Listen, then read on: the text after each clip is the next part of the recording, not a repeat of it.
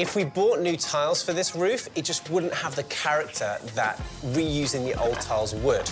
And also, we're saving a fair bit of money, a few hundred pound, by reusing the ones we've got.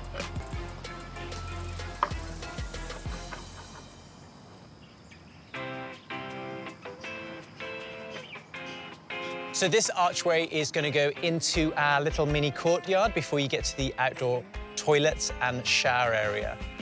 We have four arches in our garden walls and they are all the same size and shape. So we want to ensure that when we are rebuilding the one for the outdoor toilets, it's exactly the same. So that's why we're using this template to replicate it identically.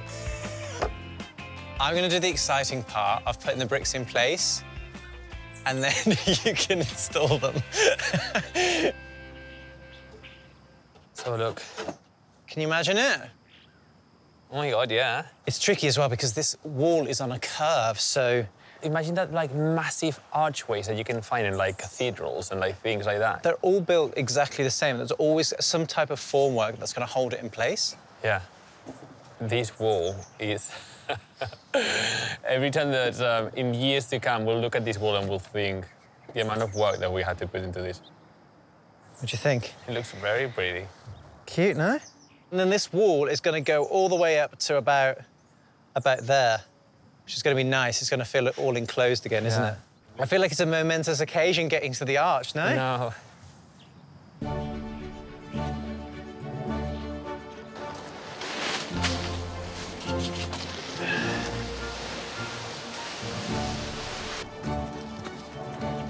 We have to save all these bricks because they've all got to go back on the wall.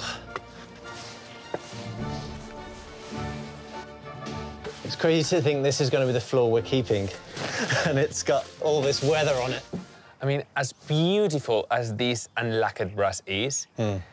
I feel like it's going to look too new. I think it has to be more understated. I mean, my grandparents would think it's sacrilege that we're aging brass rather than polishing it up. I know. But I think it's going to look more appropriate. Yeah.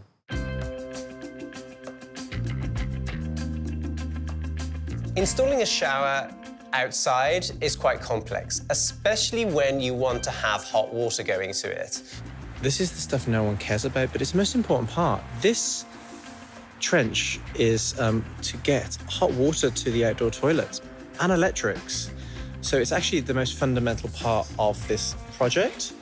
And it's going to go straight into the main house and connect into the main house. We're just working up this brick wall now, and this is going to hide all these behind it. And then we're going to cap it off with these blue bricks at the top.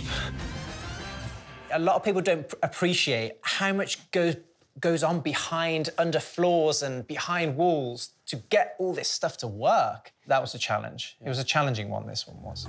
To age the brass is going to be very simple. So mm-hmm. we need vinegar, any type of vinegar, and then some sort of container that we can seal the uh, the brass and the vinegar inside. Did you brush this with vinegar?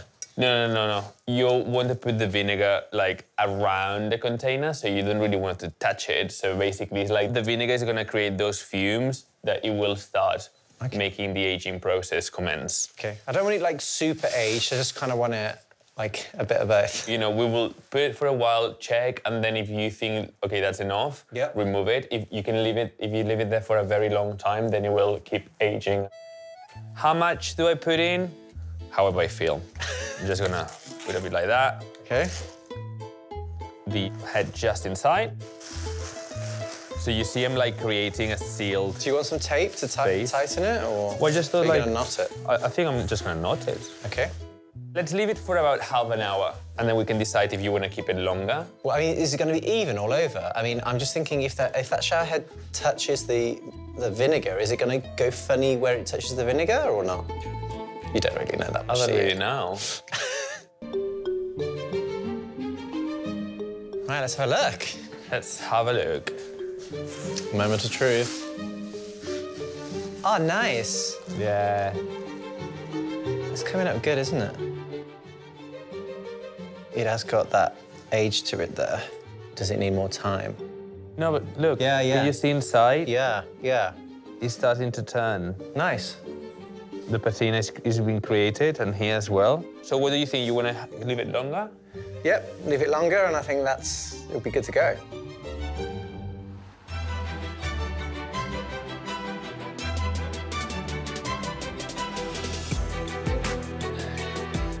Outdoor bathrooms are so underrated. They really are because they're so versatile in what we can use them for.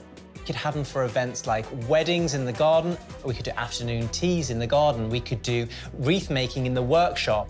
If we can get extra income out of it some way, then it's worth doing.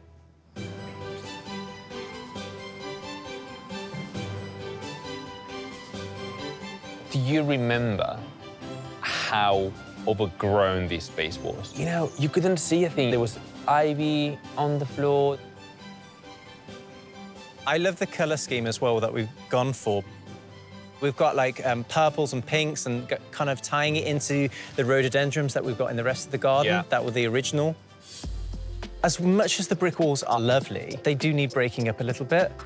And that jasmine is gonna flower and smell so good. Look, oh, we've got a bumblebee. That's what I wanted. so actually we're attracting as well like insects, which that was always the aim. It looks amazing, and I hope it looks as amazing or better in two months' time because gardens grow and they always change. So um, It's gonna look better, and that's the nice thing about gardens. We can add more things. You know, we can change few bits. I'm all about restoring, but with that roof, unfortunately, it was just too far gone. We had to replace the entire roof structure and then retile. We managed to reuse the tiles, which Yeah. was great, but the structure was all gone. And as much as this is going to be our home and we're going to love it and enjoy it, it's also going to be an adaptable space where we could occasionally do events or potentially weddings or something like that. Oh, our wedding, maybe. And we've got this space here. Yeah, I know. the first wedding we do must be our wedding.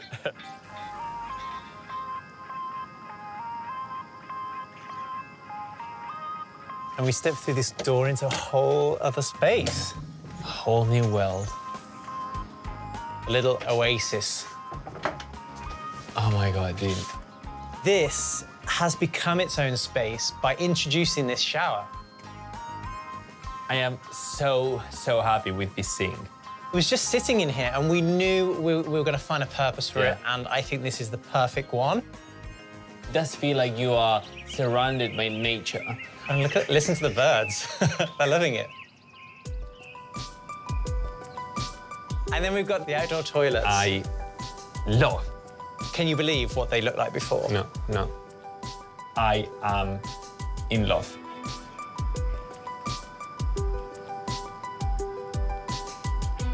The roof was barely on there. There was a hole in it. I can't believe we've managed to retain as much as we, we have, really. All the brickwork is exactly the same. Your artwork. No, and what do you think of my I, artwork? I actually love it. Honestly, I think it's the best artwork you've done so far. I'm glad you liked it because Yeah, I'm no, it's always great. nervous when I'm making some of my ideas. I know, because some of your ideas are a disaster.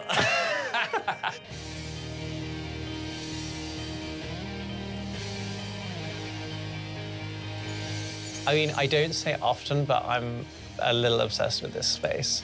And I can't wait to test out this bad boy. this shower. Are we on to the next one?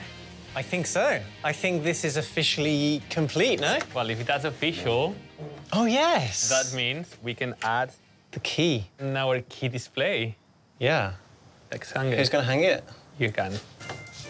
Nice.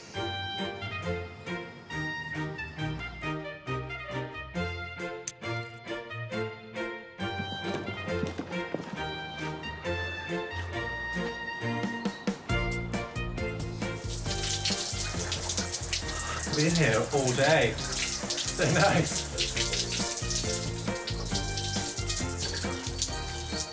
You got enough?